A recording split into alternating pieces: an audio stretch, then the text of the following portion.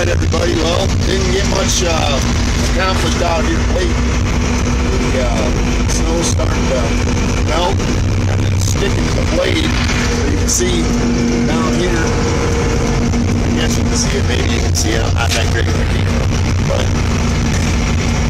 snow's starting to stick to the blade, so I gotta keep getting out, cleaning the blade off, so I'm gonna head back and get the tobacco and touch up some things with tobacco for a little bit and uh, see what's going on. But the uh, temperatures are up in the 40s already, so everything's really starting to melt into the mud. You can see the road here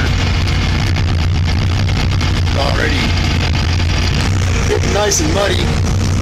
Once the snow starts melting, it's going to be really bad out here. These roads are going to be terrible. So we'll uh, take it as it comes.